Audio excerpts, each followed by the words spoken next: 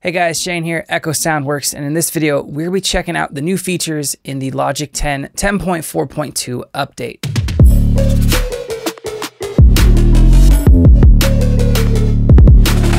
So I'm gonna keep this intro short because I wanna dive in and start checking out the features and show you guys how to use them. But in short, the main kind of cliff notes of the coolest new features include Alchemy getting a facelift, uh, there's some really cool new alchemy features, so it'll be easier to interact with the synth using custom imported samples, that sort of stuff. And then Apple's also expanded the functionality of the Smart Tempo feature, which was unveiled in the last big update. So it can now work with MIDI and it can handle multiple files at once, which is kind of cool.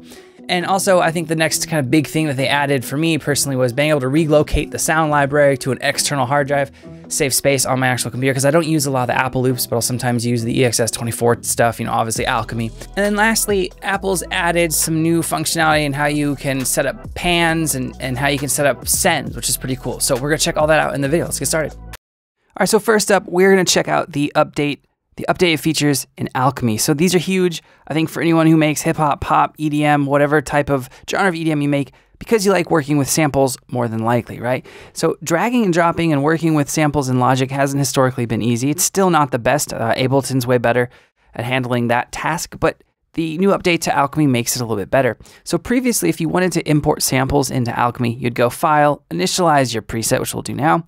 Then you'd have to go to your Advanced tab, click on a source, click Import Audio, drag the sample onto the drop zone, choose your analysis mode, go get a coffee, take a nap, and then hit Import.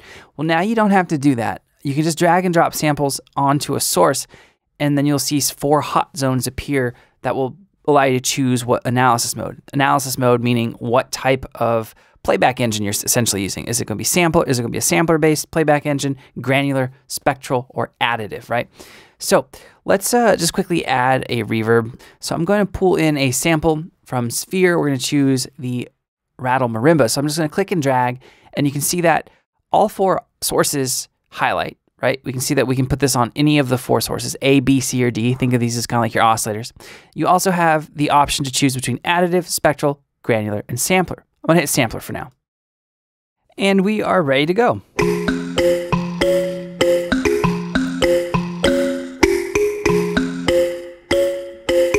Now, the cool thing about this is how easy it is to blend the different modes together, right? So we can take the same sample, let's go to source B, and instead of choosing sampler, let's try, let's try additive. And I'm gonna turn off source A so you can hear the difference.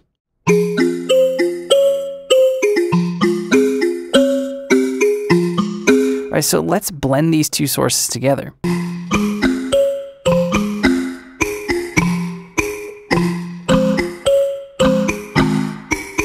So another feature that's been added to Alchemy is actually a GUI uh, enhancement, and it's a big one.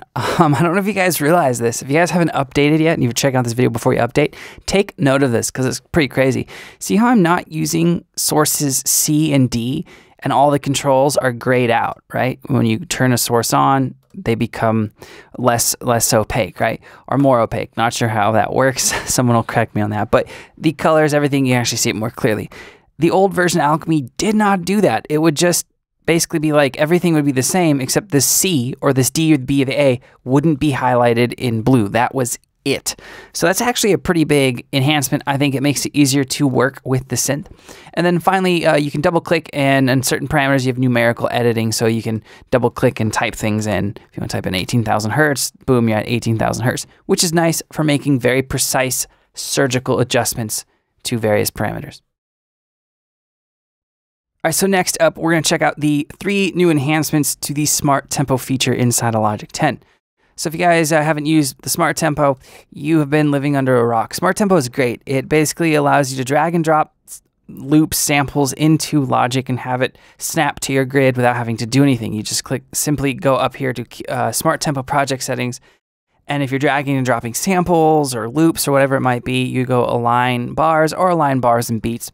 And then you can also do that with recording. So if, if, if, reco- if, you're recording an acoustic guitarist or a vocalist, you can have it on and it will actually start to quantize the audio to your to your session's BPM, which is great. So one of the new features is you it, the Smart Tempo now works with MIDI that's not recorded with a metronome. So we're not going to look at that feature in this video, but it's pretty self-explanatory, right? Um, I'm going to look at a really cool feature. So previously, if you were working with like say a construction kit, I'm going to pull a construction kit from our Pack Sphere. And if you were importing the whole kit, it wouldn't analyze each individual file, right?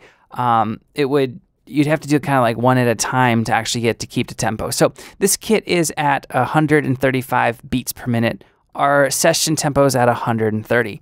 So I have selected in the Smart Tempo project settings, set imported audio files to, it's basically on, it's going to align them, right?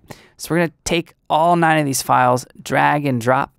We're to hit create new tracks, and it's going to analyze all of them. So you can see all of them are perfect length, right? There's no overhang at the end of a bar or anything, so let's check it out.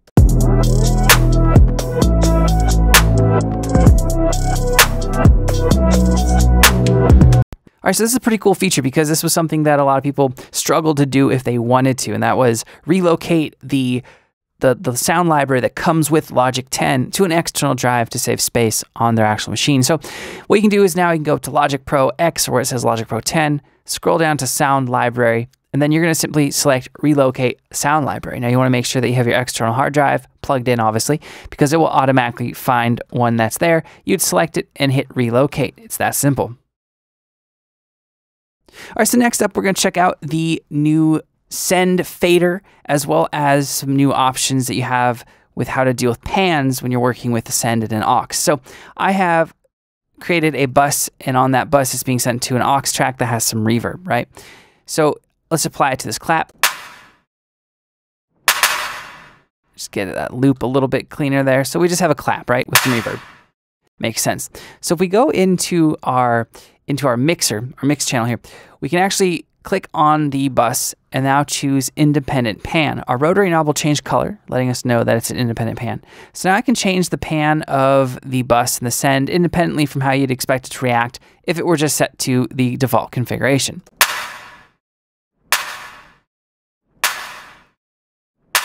And of course, you can choose between the different pan modes, right? Stereo, balance, and binaural. So that's pretty cool.